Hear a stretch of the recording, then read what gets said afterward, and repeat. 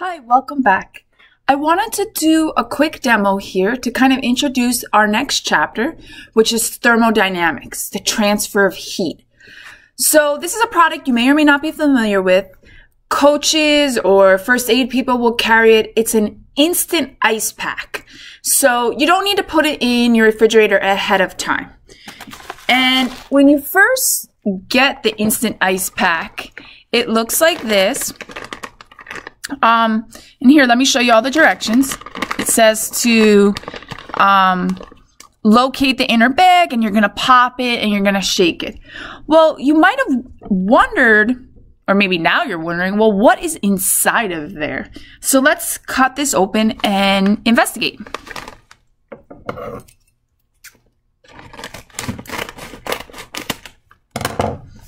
Let me pour it out. I have a little bowl right here.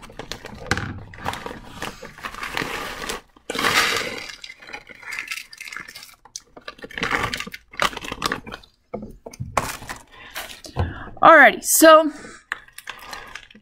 kind of looks like like a gerbil food or something. Um, not much to look at. And then there's this pack here. Just stop moving it. This just has water in it. And this is the Walmart brand of the Instant Ice Pack. The exact compound and, and what it's composed of, that's proprietary. Um, but a lot of these ice packs are composed of ammonium nitrate. And um, what happens is when ammonium nitrate dissolves in water, it gets really cold. It's what's known as an endothermic reaction. So the actual process of the ammonium nitrate breaking into ammonium and nitrate um, uh, takes in heat. So then when you put it on your, your injury or whatnot, you feel it getting colder because it's going to pull in the heat from your body or your skin. So this is what you're basically doing. You're opening up this when you pop this inner bag and then you're mixing it with the water and then the directions tell you to shake. So as you're shaking, this stuff starts dissolving. This is so much cooler in person. Um, because then, you know, you all can feel how cold this gets. It gets instantaneously cold. So again, the ammonium and the nitrate are connected, ammonium and nitrate. Um, in their solid form, they're connected. And then as they pull in heat, they're able to disconnect. And then that makes everything around it cold. Um, alrighty. Alrighty, let's tackle problem number four on page four. So this problem is a little bit different in that we have two things going on. And I want to be very deliberate and keep the information about those two things really organized. So I'm going to use a T-chart. On one side of my T-chart, I'm going to organize all the information for copper. And on the other side, I'll organize all the information for water. So let's look at it. Um, a block of copper has an unknown of unknown mass. Ooh, unknown mass has an initial temperature of 65.4 degrees Celsius. The copper is immersed in a beaker containing 95.7 grams of water. So the mass of water is 95.7 at 22.7 degrees Celsius. So I'll put the initial temperature over here, and that's for the water. When the two substances reach thermal equilibrium. So at thermal equilibrium, all the heat transfer um, basically has occurred and the temperature will be the same for both. So both of them at thermal equilibrium are going to be 24.2 degrees Celsius, and that'll be our final temperature.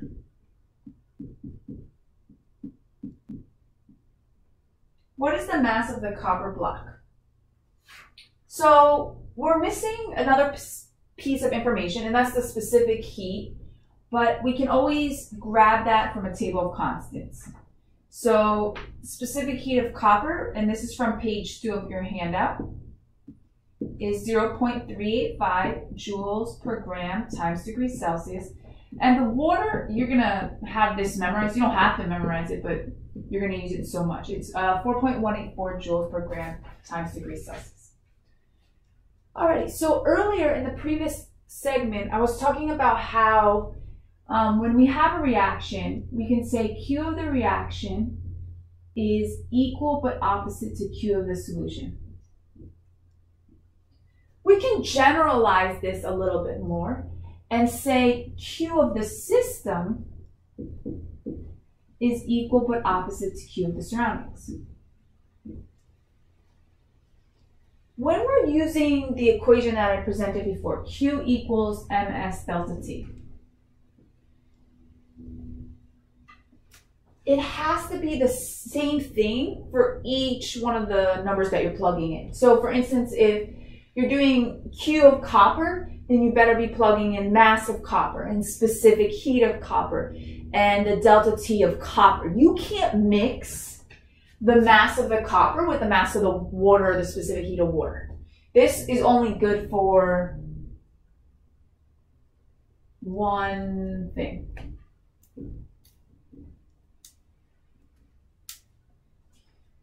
So what we'll do then is we're going to use like a combination of the two. So we'll call our system the copper. And we'll say that in this particular problem, the water is the surroundings. So they took this hot piece of copper and they dropped it into a cup of water.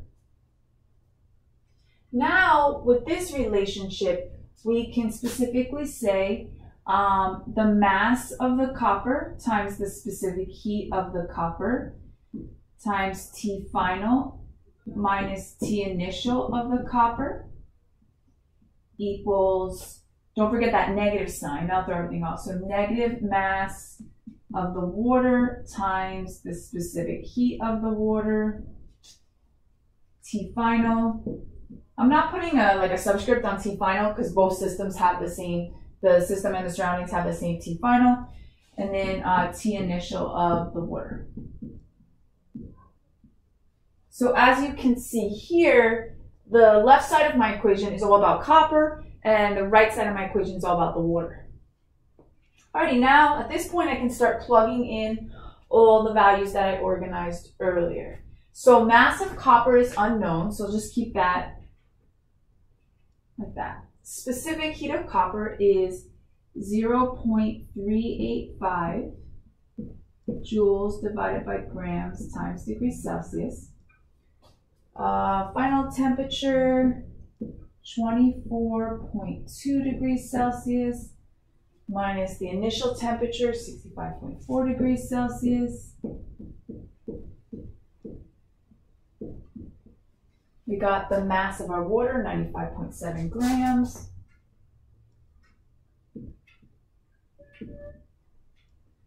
Um, specific heat of water.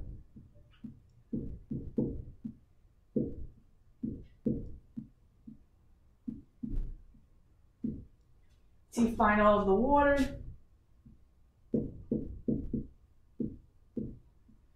Minus T initial of the water. You see me looking like on my T-chart over and over again. Invaluable for me when I'm doing these kind of problems.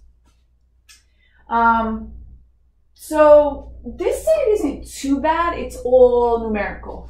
So I'll tackle the parentheses first. So I'll do um, 24.2 minus 22.7 and that gives me 1.5. So we have negative 95.7 grams of water times 4.184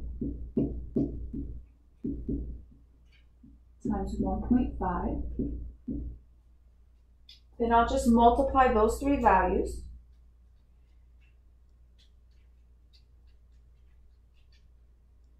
And I get negative 600.6132 we always want to follow our units through these types of problems. Grams cancel grams, degrees Celsius, degrees Celsius, and I'm just left with joules. On the other side, I'm going to do the delta T part first.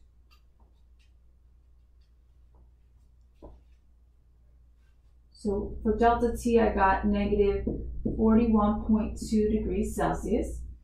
And I want to multiply that times the specific heat of copper.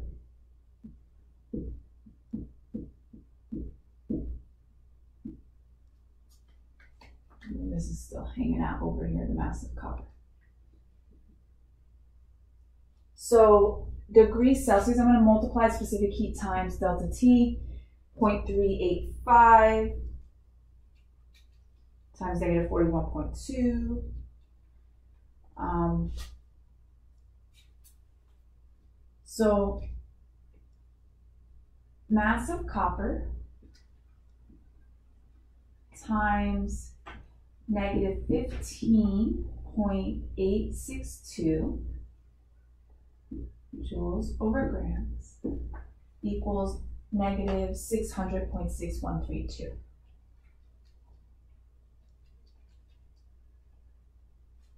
Trying to isolate the mass of the copper, so I'll divide each side by negative 15.862.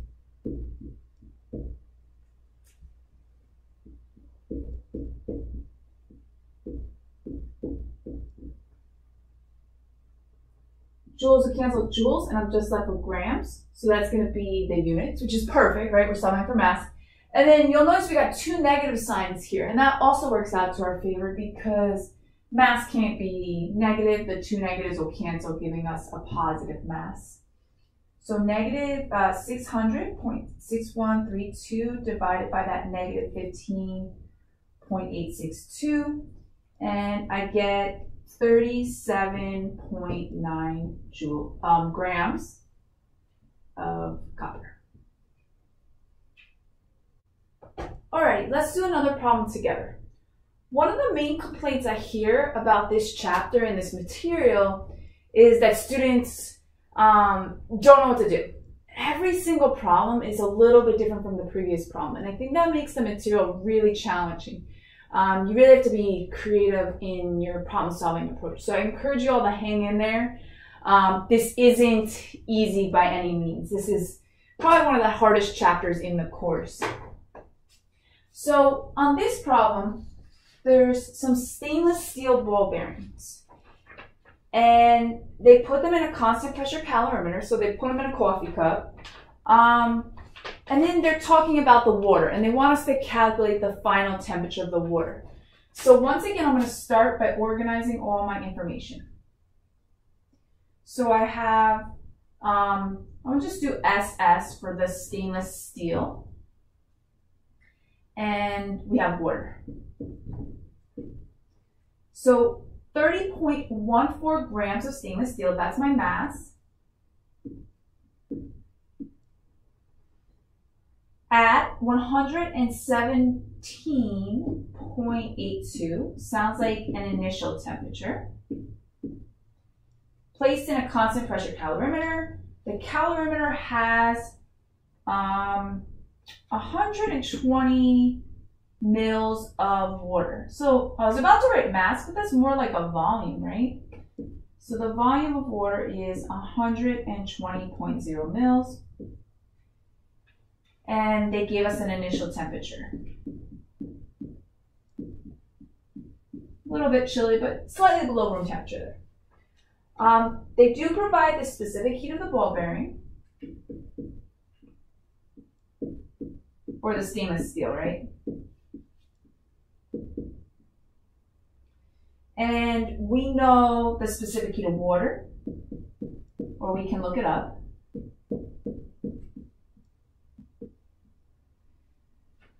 assume that the calorimeter has negligible heat capacity, so we're not worried about um, potential heat transfer to the cup. We'll just pretend that all the heat from the stainless steel went directly into the water. And then they want us to calculate the final temperature of the water.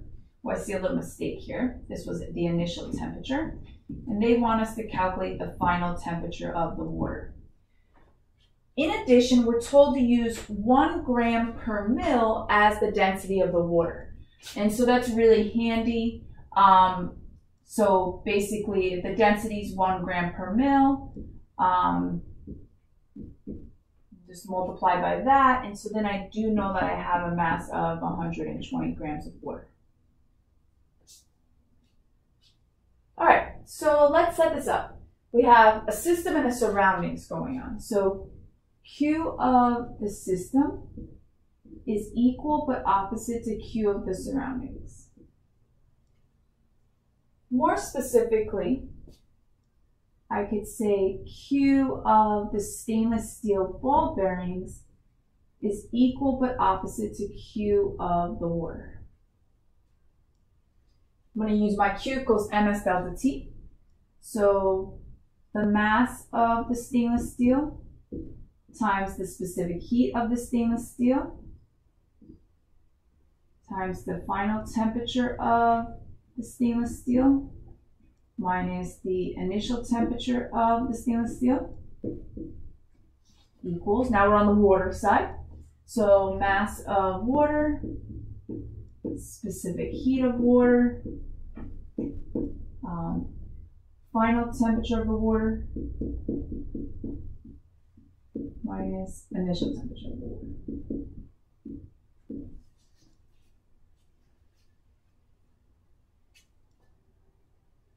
They've asked us to solve for the final temperature of the water, but looking back on my T-chart, I realized what's going on with the stainless steel? Um, and let's see if I can figure that out by going back and looking at my problem. And what I did in my head, you're like, well, well, how did you know what to do?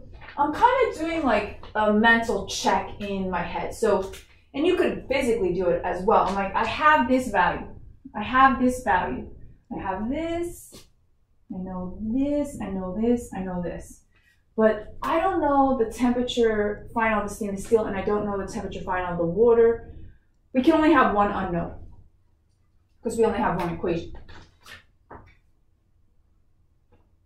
And poorly written problem, it's not really telling us what's going on, but we can assume thermal equilibrium because we said that the heat of the stainless steel system is equal to the negative of the water. So when we write this, we'd have to be at thermal equilibrium.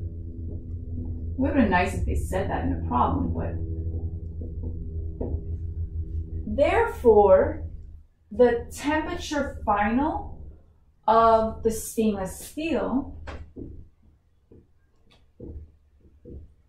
has to equal the temperature final of the water. And I, I, guess it's not at thermal equilibrium initially, it's just when we set up these problems, um, the final temperatures are going to be at thermal equilibrium. Alrighty, so let's plug and chug. And then because of that relationship, they're, they're one and the same, I can like get rid of the subscripts here. So I mean about every single problem being a little bit different.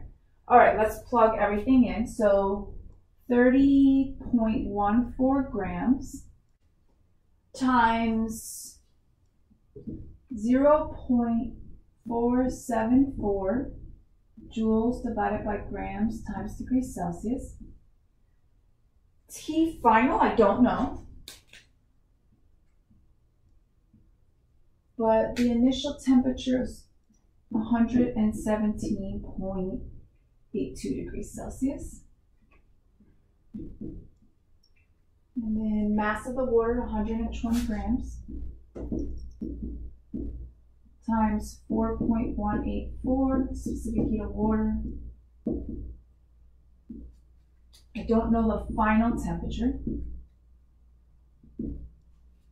But according to the problem, it started out 18.44 degrees Celsius.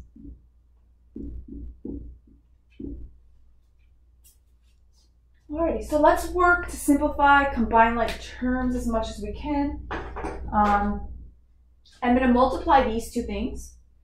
And when I multiply, put it in a cloud so you know what I'm doing. When I multiply them, the grams will cancel with grams. And then I'm going to do that over here as well. I'm going to multiply both of these. There's so many different ways algebraically or different um, pathways that you can take to solve this. Um, so if you're doing it a different way, you're working ahead and you're like, oh, um, I didn't do it that way, but you still got the same answer. It's, it's great. Um, so multiply those two. I get 14.28636 joules divided by degrees Celsius. And then I still have this term.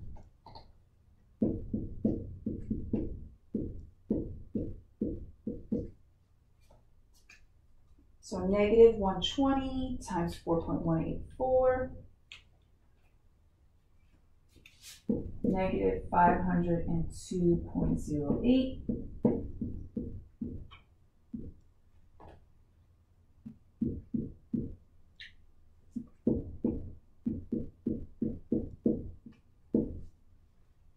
All right, from here you could distribute, um, but that's an awful lot of distribution.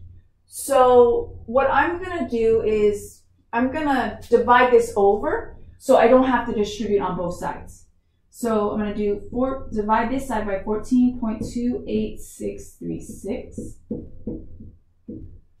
Do the same over here.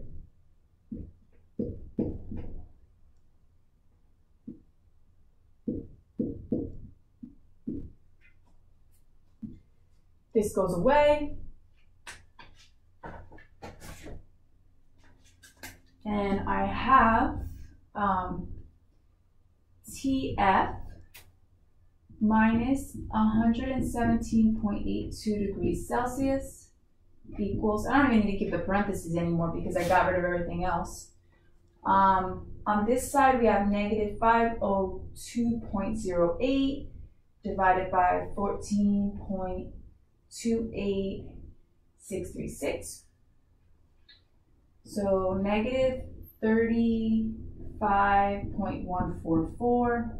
Units are gone over here because this would cancel with this. Um, we're going to have to distribute on this side. We can't get away with not distributing at all. So T final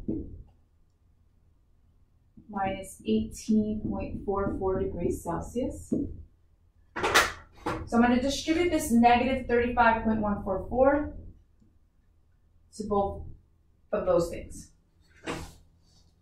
Let me rewrite what I got. So T final minus 117.82 degrees Celsius equals negative 35.144 T final minus, we got a negative and a negative, so that's going to turn into a positive. So I need to multiply the 35.144 times 18.44. Um, 648.05536 degrees Celsius. One thing that I know has been a point of confusion in the past, if you just have a variable hanging out by itself, Remember, it does have a 1 in front of it. So now when I work to combine like terms, there's a 1 here. So I can add 35.144 TF to this side. And I'm going to add 35.144 TF to that side. This goes away. So I, I could do that one in my head. Um, 36.144 TF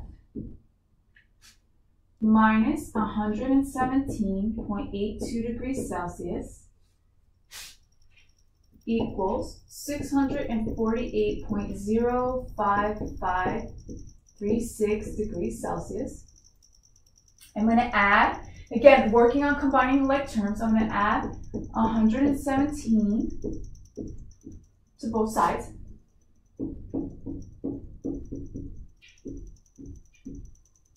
So this part is going away. Back up here. I'm going to continue it over here. This is such a long problem. Typical thermodynamics. So we got 36.144 TF. And then I need to take my 648.0536 and add the 117 to that.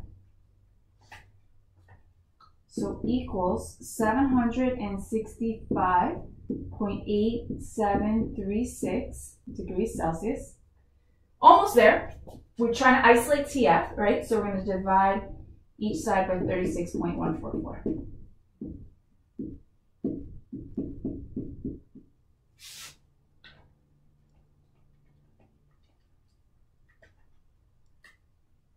So TF equals 21, I'm getting like 0.189, but I'll just round up, 21.2 degrees Celsius. Does this value make sense? Really quickly here. We have uh, 117.82 with the stainless steel with the metal, and the water was at 18.44. So the fact that it's in between is definitely a good sign. I know sometimes um, students are concerned, well, why did it only go up such a little bit? Two things. One is you have a lot more water than metal. So if you put a little bit of metal in a big cup of water, it's not going to have that much of an impact, even if the metal is really hot. The second thing is the specific heat. It takes, the number for water is pretty big. It takes a lot of energy to change the temperature of water. Over here though, this is only like 0.474.5. So um, it takes a lot less energy to change the temperature of um, the metal. So the hot metal can't really do that much to the water because of the differences in the mass and the differences in the specific heat. It warmed up a little bit, but not anywhere near the temperature of the metal.